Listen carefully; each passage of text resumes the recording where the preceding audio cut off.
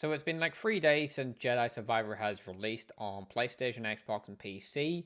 However, it did not come out for the last generation consoles. If you guys have been playing Jedi Survivor, you guys will realize that there's a lot of problems with this game. It's very buggy, has a lot of performance, you know, issues, kind of poor textures. Sometimes the resolutions isn't that great. Very bad FPS drops. However, Respawn have released an update patch note, which is coming out today for PC and for Xbox and PlayStation 5 tomorrow. So here are the patch notes for Jedi Survivor. Do apologize for the poor quality of the image.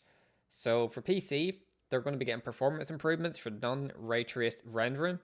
For PS5 and Xbox Series X and S, there's a lot more to the patch notes. So they will be fixing mobile crashes across all platforms with certain areas in the game. Also fixed an issue whenever you would skip a cutscene, the game would crash as well. Also, they've improved performance improvements for PlayStation 5, Xbox Series X and S. Fixed an issue with rendering issues. They fixed an issue with dynamic cloth inside of the mantis. Fixed an issue with register uh, Nekko colors not saving.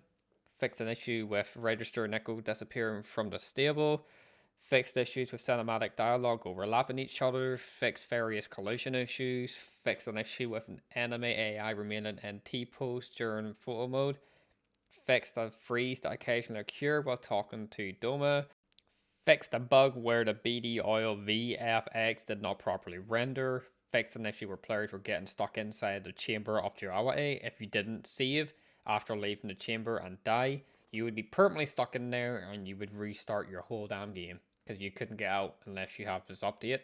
So if you guys are stuck in that area, don't worry. Update is coming out tomorrow, so don't start the game over. If you've definitely explored a lot of the game as well, you don't want to be doing everything from scratch. PC have got the update today, and PlayStation and Xbox will also get this update tomorrow.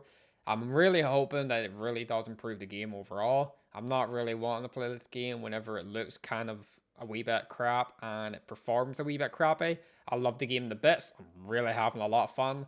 But overall, I've just not been enjoying the game because of the performance and the resolution issues. But overall, I'm I'm still loving the game. It's just it's the experience just hasn't been as good as I wanted it to be.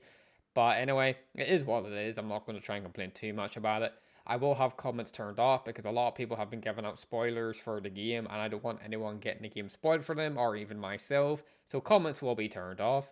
Make sure you guys leave a like, subscribe for more Star Wars Jedi Survivor content that are spoiler free. Catch you guys on the next one. Peace out.